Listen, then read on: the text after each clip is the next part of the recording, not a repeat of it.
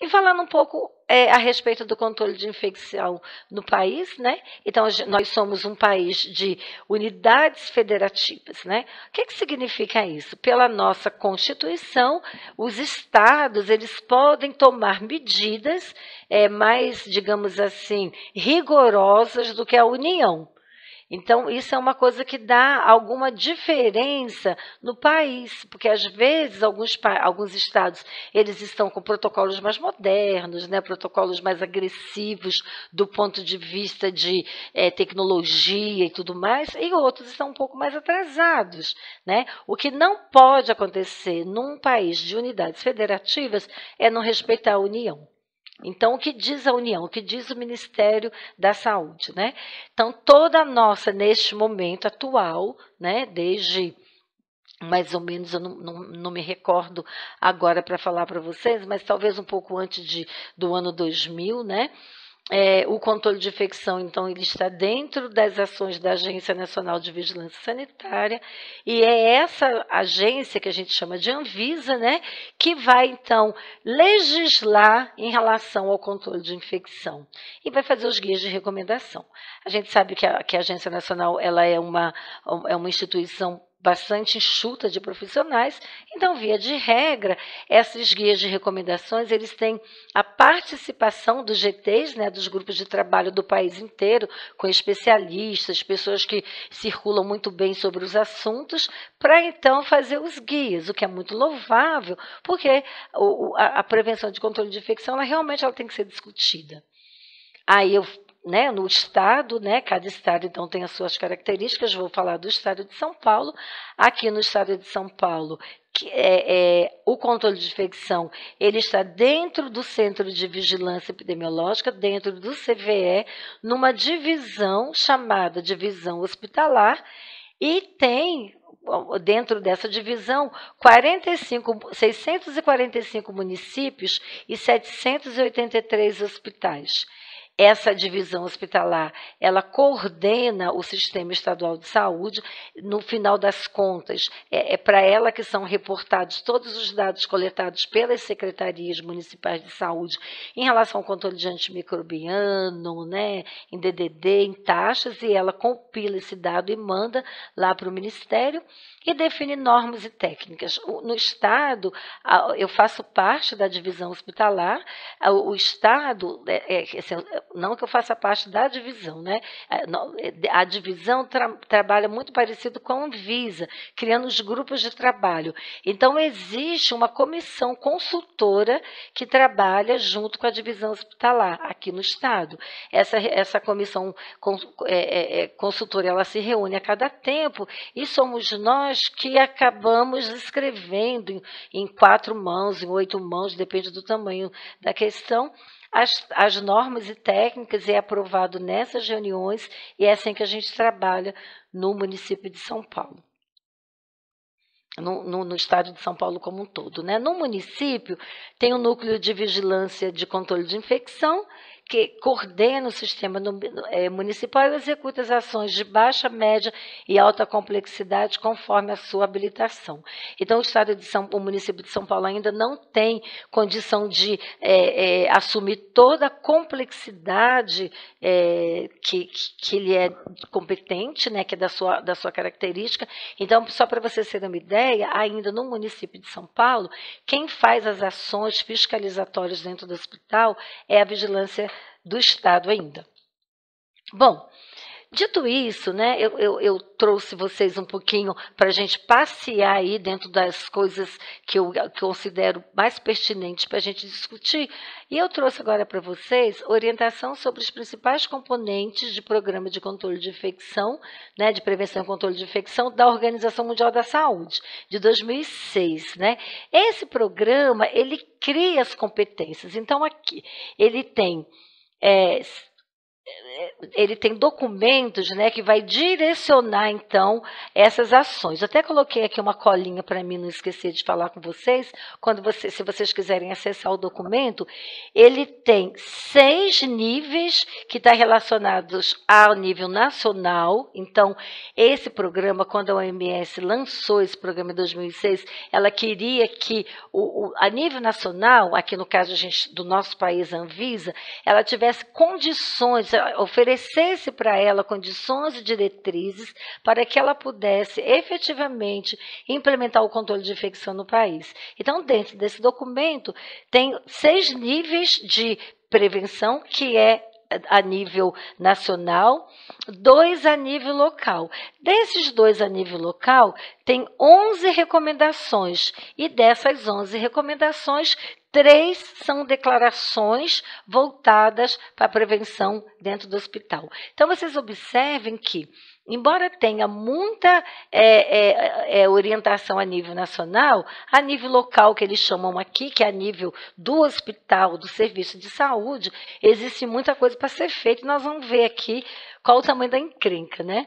Bom, ele fala da importância do controle de infecção e os principais desafios da saúde coletiva. Aí você me pergunta, mas o paciente está dentro do hospital. Como que é a saúde coletiva, né? não é saúde, a saúde coletiva não é necessariamente fora do hospital. Quando eu penso em saúde coletiva, quando, por exemplo, eu não deixo entrar flores no hospital, e aí a gente fica ganhando o título de antipático do ano, é porque a gente quer proteger aqueles profissionais, aquelas pessoas imunossuprimidas que circulam por ali. Então, quando eu falo em saúde coletiva, também estou falando no ambiente hospitalar, na coletividade, tá? E esses desafios, eles envolvem as epidemias, né? Nós tivemos o ano passado, por exemplo, do sarampo, tivemos ano retrasado da febre amarela. A pandemia, desde quando não tínhamos uma pandemia no país, né? A gente teve lá, quase 10 anos atrás, o H1N1, acho que foi 10 anos, em 2009, e agora a gente tem a pandemia do, do coronavírus, que são situações que nos obrigam a, a, a tomar medidas muitas vezes extremadas, as doenças emergentes, né, elas também são um desafio importante, principalmente doenças relacionadas à multiresistência, como está comentado já aqui. O objetivo, então, desse sistema é prevenção e controle das infecções, sempre baseada em evidência científica. Isso é uma coisa que, que a gente tem que estar muito alinhado. Eu não posso ter uma opinião, eu, Adenilde, dizer que passar o álcool três vezes por dia no teclado do computador vai diminuir a transmissão de Covid dentro da UTI. Eu tenho que ter evidência científica, porque eu vou ter, é, é, digamos assim, um argumento para convencer, mas também com medidas, com evidências administrativas, científicas, eu não testo tanta hipótese, eu não consumo tempo, eu não consumo material. Adaptar as recomendações consensuais às realidades locais. Então, eu vou olhar esse programa, eu não posso pegar ele, colocar ele debaixo do meu braço agora e chegar lá no hospital e falar: eu quero tudo que está aqui no documento da OMS. Eu vou adaptar, eu vou fazer consensos né, dentro da realidade local. Mas uma coisa que vale a pena pontuar agora para vocês é que a gente pode falar de boas práticas, implementar as boas práticas lentamente, mas legislação precisa ter seguida.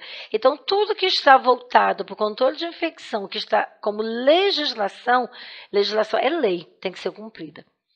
Além disso, esse documento apoia a formulação de políticas nacionais. Lembra que eu falei para vocês que tem muito mais coisas a níveis nacionais, e regionais. Então, a região se, se, cabe bem aqui ao nosso país, porque são regiões é, são federativas, e institucionais sobre prevenção e controle de infecção. Então, o que ficou decidido a nível local, eu tenho que implementar a nível da minha instituição. Embora focado em instituições para pacientes agudos, ou seja, né, isso é a tradução do documento, ele está querendo dizer que está, embora seja focado para pacientes internados, seus princípios devem ser aplicados em todos os cenários assistenciais. Por isso que a gente fala de infecção relacionada à assistência à saúde, na hemodiálise, na ILPI, né, no home care, dentro do serviço diagnóstico do, do, hospital que eu trabalho, onde houver risco de infecção, essas normas elas precisam ser instituídas. Os principais componentes é um programa de infecção, como a gente tem na nossa portaria, orientações para a prevenção de infecções baseadas em evidência, formação e treinamento de profissionais de saúde em prevenção de infecção. Está lá na nossa portaria. E a vigilância epidemiológica das infecções, eu vou ter essa informação para eu ter uma ação. Ainda falando do, da implantação, né? Implantar estratégias multimodais visando a mudança de cultura é, profissional e institucional. O que é uma estratégia multimodal? É quando eu faço é, diversas ações, diversos componentes. Eu não vou só fazer higiene de mãos para prevenção de infecção de corrente sanguínea. Eu vou desenvolver outras medidas que comprovadamente diminuem a taxa de infecção. Então, quando eu falo de estratégia multimodal, é de que eu estou falando é que eu não posso pensar só na higiene de mãos. Eu tenho que pensar na estrutura, no papel toalha, no álcool, é, no ponto de cuidado onde esse produto alcoólico precisa estar. Isso é treinamento, clima de segurança, né? Isso é uma estratégia multimodal. E essa estratégia multimodal, ela tem cinco componentes básicos. Eu preciso também uma infraestrutura adequada. Posso pedir para as pessoas higienizarem as mãos e não ter papel, a lixeira está aberta, o produto é de péssima qualidade, as pessoas vão aos poucos deixando de usar porque vai destruir a mão. Então eu tenho que fornecer uma infraestrutura, eu tenho que oferecer uma sala de porta fechada para fazer uma cirurgia. Treinamentos, né? Isso é da competência do controle de infecção é auditoria com feedback. Então, por exemplo, se vocês tiverem uma ferramenta que faz o bando de catéter, de pneumonia, de infecção urinária, você vai à beira do leito, faz esse bundle, é, ele faz o dado ali na hora e você já pode dar o feedback para o enfermeiro, para o coordenador naquele momento. Isso é muito importante para a gente apontar. Eu olhei e o problema é esse. E você não está olhando, é, criticando o seu colega, você está criticando o processo. E o processo precisa ser melhorado. Parabéns de todos. Campanhas educativas, a gente lembra bastante disso na época da higiene de mãos, lá em maio. Cultura institucional e profissional. Precisa se desenvolver, isso depende da direção do hospital. Uma cultura que as pessoas se sintam à vontade para que é, essa, essa estrutura ela aconteça, para que se sinta à vontade de abordar alguém para higienizar as mãos, que se sinta à vontade, extrapolando um pouquinho do controle de infecção, para falar, olha, eu preparei uma medicação e na dupla checagem eu vi que estava errada. Precisa ter esse clima, né? Para que as pessoas consigam mostrar as suas falhas e melhorias a partir daí auditoria de boas práticas com feedback. Então, não necessariamente tudo está na legislação, a gente pode pensar também nas boas práticas.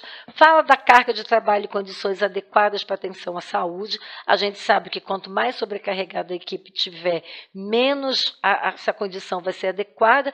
E também, não é o tema da nossa conversa, mas se vocês quiserem fazer alguma busca, existem inúmeros trabalhos falando que o paciente em precaução de contato, ele é o paciente mais mais mal visto, ele é o que tem menos condições adequadas, porque as pessoas vão demorar de entrar no quarto, né, não vai ser visto adequadamente. Então, a carga de trabalho ela pode comprometer aí a qualidade da assistência e o nível de proteção anti-infecciosa adequada nas áreas e artigos da assistência à saúde, que tem a ver com desinfecção, limpeza, desinfecção e esterilização, com produtos antissépticos, né, com é, técnicas, né, essa parte toda do nível de proteção anti-infecciosa. É, essa classificação das recomendações da OMS, ela é feita, ela é baseada na força e no grau de evidência científica. A força, quando fala da importância da recomendação, ela é importante, ou seja, higienizar as mãos tem muita força, porque é a base da prevenção da infecção. E o grau de evidência que tem a ver com se essa recomendação tá, tem embasamento científico. Então, a Organização Mundial da Saúde, para fazer esse documento, ela usou a qualidade da evidência de, uma, de um instrumento chamado GRAD. Né? Esse instrumento ele vai analisar aquela evidência não somente do ponto de vista científico, mas da aplicabilidade em diversos locais, estados, municípios e setores dentro do hospital. E nessa evidência ele determina que a gente vai ver isso lá na documentação. Se eu tenho um nível de, de, qualidade de evidência A alta, a forte confiança de que o efeito verdadeiro se aproxima do efeito estimado. Então, é, é quando a, o nível da qualidade dessa evidência A está querendo dizer que o que eu espero ali, ele realmente pode ser alcançado. Quando eu falo do, da qualidade de evidência B, há moderada confiança na estimativa do efeito. Eu não tenho certeza absoluta. E quanto mais eu tenho, menos eu tenho evidência, menos eu devo gastar energia com ela.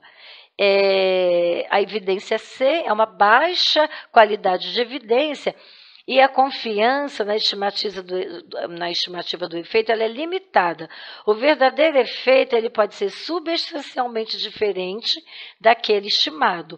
Então, eu posso é, é, implantar essa, essa evidência, né? desculpe, essa regra, eu não tenho o efeito que eu esperei.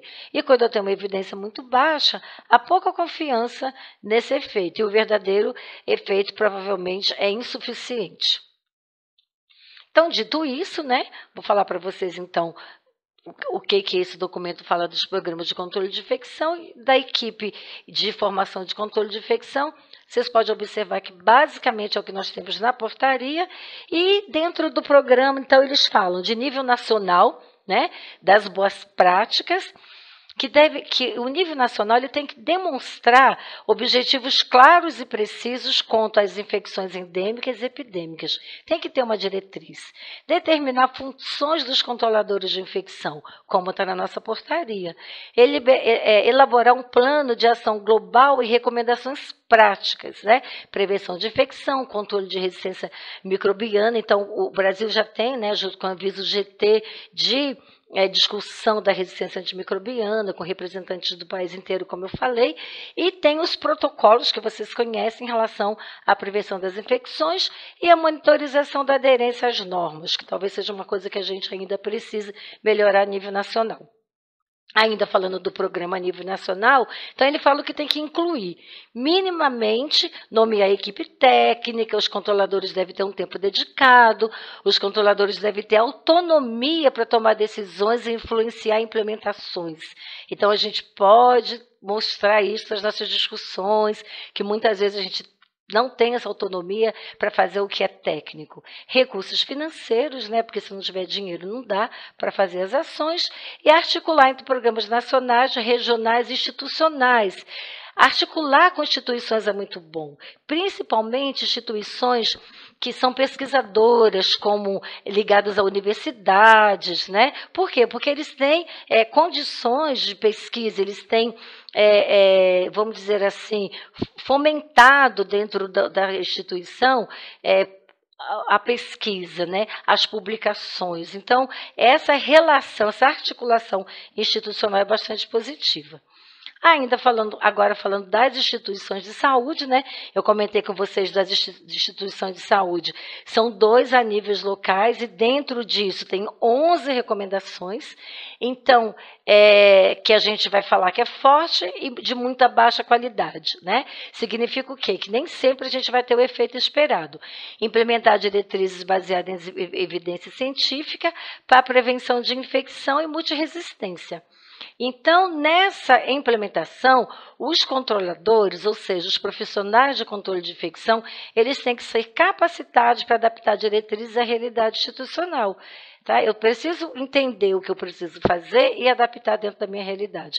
Adaptar na realidade não é suprimir, né? É criar uma forma, um fluxo, uma possibilidade. Treinamento dos profissionais de saúde e monitoramento de sua adesão. Eu vou treinar para higiene de mãos, eu vou olhar. Eu vou treinar para medida de controle, eu vou olhar se as pessoas realmente melhoraram a adesão. Senão eu fico fazendo um programa de treinamento o ano todo, cada mês faço uma coisa, não meço. Quando chega no ano seguinte, meu programa de infecção joga na minha cara que as minhas taxas de infecções continuam altas e eu trabalhei a beça. A nível nacional, falando aqui, elaborar diretrizes nacionais baseadas em evidência, garantir a infraestrutura necessária e apoiar a educação e o treinamento dos profissionais de saúde. Então, precisa ter esses fomentos para fazer os eventos né, é, institucionais, liberação para congresso, tudo isso a nível nacional. A nível de instituição de saúde, a evidência é forte e a qualidade é moderada, ou seja, pode ser que eu implante e não tenha 100% do que eu esperei. Formação e treinamento de todos os profissionais, e aqui falo inclusive na integração, na admissão deles, e nessa, nessa é, é, recomendação da OMS, eles falam em três níveis de treinamento para os controladores de infecção. Então, eu preciso de treinamento. Né? Como que eu vou trabalhar com controle de infecção sem estar atualizada? Então, eu preciso também de treinamento. Os demais profissionais de saúde, todos precisam ser treinados em relação à prevenção das idas. E pessoal administrativo de gestão e de serviços auxiliares, por exemplo, serviço de apoio, né? O serviço de higiene, de nutrição, o pessoal administrativo da farmácia, o pessoal que libera, por exemplo, materiais para fazer cirurgias lá na, na farmácia do centro cirúrgico, né? Eles são profissionais administrativos. Então, cada nível de treinamento, ele vai ter um foco, né? Quando eu falo dos demais profissionais de saúde, eu estou querendo dizer que eu vou fazer um treinamento voltado em prevenção ainda a nível nacional, apoiar a formação e treinamento desses profissionais, fornecer orientação para esse treinamento. Então, nós temos no nosso país aquele guia da Anvisa, né, de 2017, que fala de todas as orientações em relação aos é, antimicrobianos, e tem também um outro que fala a respeito da infecção e neonatologia, e tem um de LPI, ou seja, a gente tem bastante documento a nível nacional. Desenvolver em conjunto com instituições de ensino, programas de graduação e pós-graduação, isso é uma coisa ainda que a gente está precisando melhorar. Adaptar currículos inter educativos internacionais às necessidades e recursos locais. Muita gente só ouve falar em controle de infecção quando começa a trabalhar. Ainda falando das instituições de saúde, né? Aqui está falando que essa vigilância ela deve ter objetivos claros e estratégicos, que ela é fundamental para identificar prioridades, incluindo surtos, deve seguir recomendações nacionais e definir padrões de acordo com recursos disponíveis. Eu vou trabalhar do tamanho da minha perna. Depois eu falo, oh, eu consegui isso, mas se eu tivesse mais, eu faria mais. E aí a gente vai fazendo o nosso crescimento.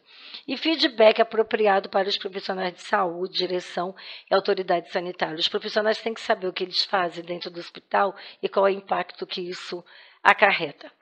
Ainda falando da instituição de saúde, né, é, a nível local, a vigilância deve fornecer informações sobre a incidência, né, tipo, etiologia e a gravidade das infecções. Então, vale lembrar que nós deveríamos, na nossa portaria fala que a gente tinha que ter uma taxa de mortalidade de infecção, que a gente abandonou isso. Identificação de alto risco. Então, qual é a população que eu tenho maior risco? Eu tenho neonatologia, eu tenho um paciente é, de transplante de medula, eu tenho oncologia clínica, em relação aos procedimentos, exposição, qual que é a minha característica cirúrgica?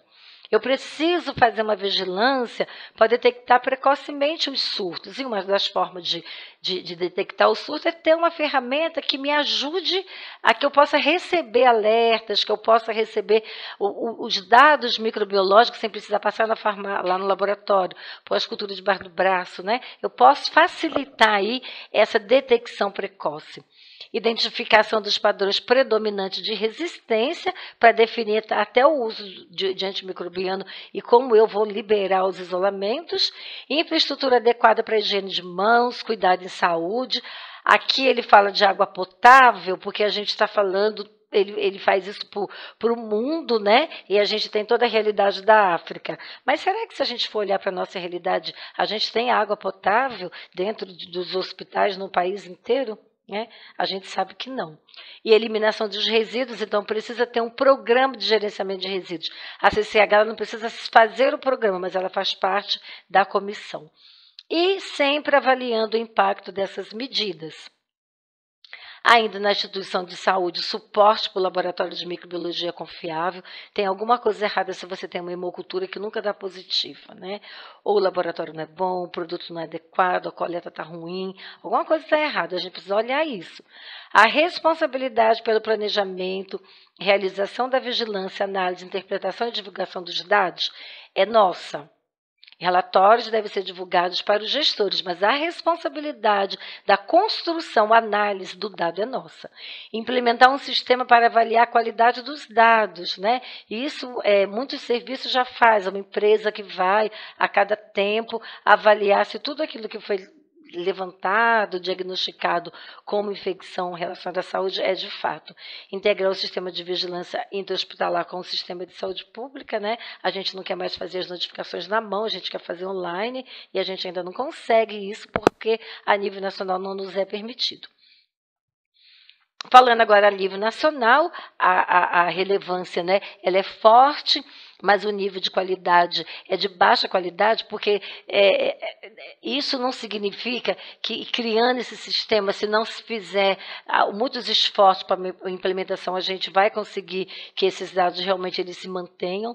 Então, a nível nacional, o que ele fala é informação para ação, criar um sistema informatizado para consolidar dados de infecção, criar um sistema que, a partir dos padrões de resistência, possa avaliar o consumo adequado. Então, eu tenho poucos micro-organismos resistentes, eu uso antimicrobiano de, de última geração, né? Então, isso não é bacana, então precisa ser avaliado. Fornecer subsídio para a criação de um programa nacional que direcione recursos humanos e financeiros, né? Para que melhore, então, essas ações de controle de infecção.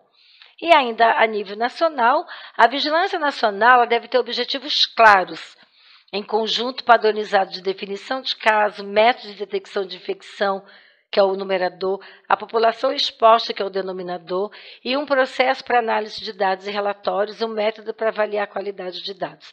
A Vigilância Nacional tem que ter tudo isso, né?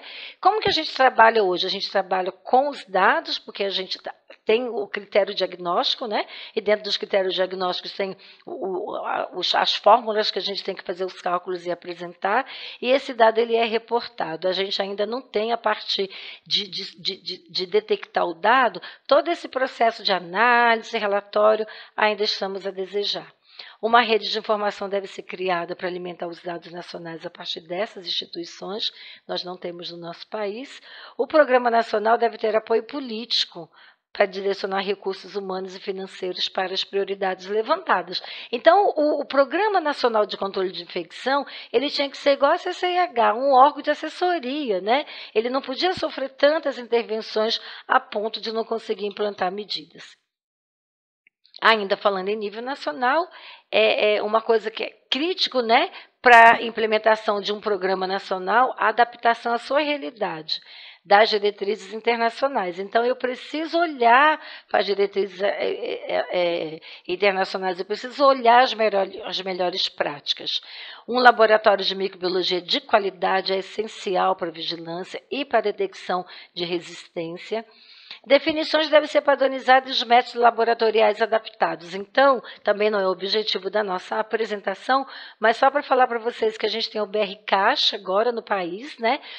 Alguns laboratórios seguiam, a grande maioria dos laboratórios no país seguia lá o, o, a, metodologia, a padronização americana e depois algumas europeias, mas já tem um tempo que a gente tem aí padronização nacional com prazo, inclusive, de implantação pelos laboratórios. A existência de pelo menos um laboratório de microbiologia nacional, nós temos alguns, né? Aqui, como eu comentei com vocês, a gente tem o, o Adolfo Lutz, no Rio tem a Fiocruz, né? No Pará tem o Instituto Evandro Chagas. E tem os lacens menorzinhos, né? Estabelecer um programa de formação nacional com referência para ações de vigilância para assegurar a correta aplicação das diretrizes nacionais. Então, a gente precisa ter um programa nacional. Nós temos programas dentro do hospital, a gente tem alguns estados que trabalham, como eu falei para vocês, que a gente trabalha em São Paulo, mas a gente ainda não tem um programa nacional por hora. A nível institucional, intervenções multimodais bem-sucedidas, né? É, essas intervenções elas precisam envolver a cultura organizacional, precisa ter um clima de segurança institucional. E a nível nacional, né, é, Programa Nacional Estimulando o Emprego de Estratégias Multimodais, a gente até tem isso. O Ministério da Saúde dando apoio e recursos necessários para políticas regulamentação e ferramentas para essa, essa é, implantação da, da, da, desse método modal e associar estratégias multimodais com mudança de cultura organizacional, gerando um clima de prevenir danos, né? Então, quando a gente assume que o paciente foi banheiro sozinho, porque a gente não se atentou para a pulseira, isso precisa por desse dito para prevenir danos auditorias e boas práticas, então a gente sempre tem que fazer feedback. Não adianta guardar informação para mim. Quem está fazendo controle de infecção é quem está lá com o paciente. Então, o feedback ele tem que ser feito como uma rotina auditoria das práticas com, com o impacto de ocorrência de infecção. Então, a gente vai falar aí mais para frente dos bundles, né? O feedback para os envolvidos nessa ação. Então, você vai começar agora, por exemplo, a fazer uma implantação de bundle de prevenção de infecção de corrente sanguínea. Todo mundo que você fez, trabalhou ali, ele tem que ser informado que deu certo, que chegou o lençol, que a gente tem a clorexidina adequada. Envolver nessa discussão a direção e os comitês de qualidade, para a gente não ter toda a nossa carga de responsabilidade. Avaliar periodicamente objetivos alcançados e metas realizadas. Isso é bom para a gente também, porque a gente sabe, olha, eu fiz essas metas, eu consegui isso, para a gente também se estimular e para pedir mais, né? Avaliação de conformidade, outros indicadores de processo então, a nível nacional, monitorar o Programa Nacional de Controle de Infecção e ver as metas. Então, se vocês é, tiverem interesse, eu não coloquei na apresentação, porque a gente não quer fazer apresentações longas para que vocês possam ouvir de uma vez só. Mas, se vocês quiserem entrar no site da Anvisa, tem todas as metas pactuadas. E a meta pactuada era até o ano de 2020. Então, vocês podem entrar lá, olhar as metas e ver se vocês estão próximos de atingir. Monitorar a adesão à higiene de mãos, né?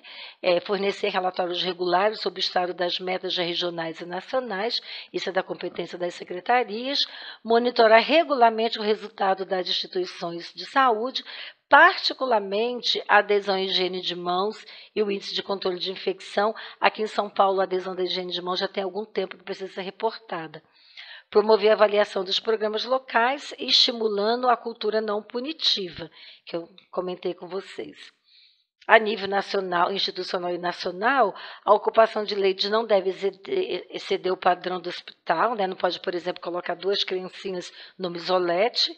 A quantidade de profissionais de saúde deve estar relacionada com a sua carga de trabalho, pensando também em férias e absenteísmo. Deve ter um paciente por cama, com um espaçamento adequado entre os leitos. Então, o espaçamento adequado entre leitos está na RDC 50. Ela ainda é a RDC que é válida para essas questões questões. Em caso de exceder o padrão, deve-se adequar o quadro de pessoal e manter a distância entre leitos, inclusive nos setores de emergência, que muitas vezes a gente vê né, até pela televisão uma maca grudada na outra que a gente não pode nem passar. A superlotação deve ser reconhecida como uma causa de surto. Então, se eu não tenho isso, se eu estou com excesso de pacientes e minimamente profissionais, eu tenho um surto, a superlotação ela pode ser vinculada a isso, porque impacta na higiene higiene e na qualidade da assistência a nível institucional e nacional, um ambiente limpo e higiênico, disponibilidade de todos os materiais necessários para a segurança do paciente, como higiene de mãos, EPIs, processamento adequado de material médico hospitalar e de fômitos. A gente não vai falar disso nas nossas aulas por hora, mas é importante seguir toda a documentação em relação a isso, atentando para a, a criticidade do instrumental, o que é crítico, o que é não crítico, o que é semicrítico e a, os seus níveis diferentes de reprocessamento. Água potável e saneamento básico, né? E condições para higienizar as mãos de cada leito hospitalar. Essa condição para higienizar as mãos é aquilo que a OMS fala, que tem que ter o, a disposição à beira-leito, no ponto de cuidado. E a gente consegue levar ao ponto de cuidado o produto alcoólico. O programa de prevenção e controle de infecção hospitalar deve ser específico e único para cada instituição. Não adianta eu ir lá pegar no meu vizinho o programa dele e implantar no hospital que eu trabalho. Ele tem que ser específico e único para a minha realidade, para a minha particularidade, para os meus problemas, adaptando-se às condições e aos recursos a serem aplicados. Eu preciso, eu preciso ser organizado, né? Como que eu vou fazer? O que é mais importante começar? O que eu não posso posso fazer e, e deixar para depois? É, vale lembrar que o que está na lei, ele precisa ser implementado. Então, resumindo a nossa fala, toda informação deve levar à ação, então, dentro do programa de controle de infecção da vigilância, eu tenho dado, eu tenho que trabalhar para que esse dado ele melhore. Toda decisão a respeito de medidas de controle deve é, é, envolver a equipe, porque a equipe é que vai fazer isso, a equipe que vai implantar o que você sugeriu baseado em evidência, a equipe é que vai aderir às medidas. Então, as equipes elas têm que ser envolvidas aí nessa decisão. Indicadores de infecção são um ponto de partida para a identificação e resolução de problemas. Não pode ser só uma legislação a ser cumprida. Ele tem que ajudar a melhorar a qualidade da assistência em relação ao controle de infecção daquele local. E lembrem-se, né? Porque muitas vezes a gente negligencia o nosso trabalho por nós mesmos, ou porque nós nos sobrecarregamos com o trabalho dos outros, né? Ou porque a gente não tem recurso. Então, o importante é documentar. Eu vou deixar para vocês essa frase final. Na apuração de responsabilidade de casos de infecção hospitalar, a inexistência ou inoperância do serviço de controle de infecção configura negligência implicando em responsabilidade civil da instituição, ética, civil e penal de todos os profissionais envolvidos da decisão a respeito das medidas de controle deve envolver toda a equipe. O que, que é isso? Se eu tenho, desculpem,